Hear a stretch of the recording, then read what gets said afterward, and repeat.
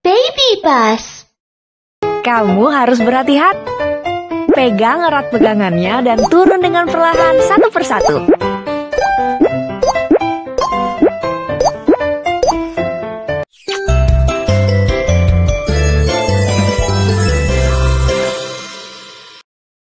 Ketika naik turun tangga, kamu harus berjalan perlahan-lahan sembari memegang pegangannya.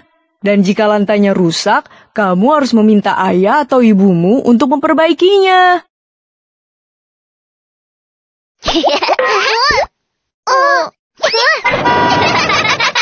Baby bus.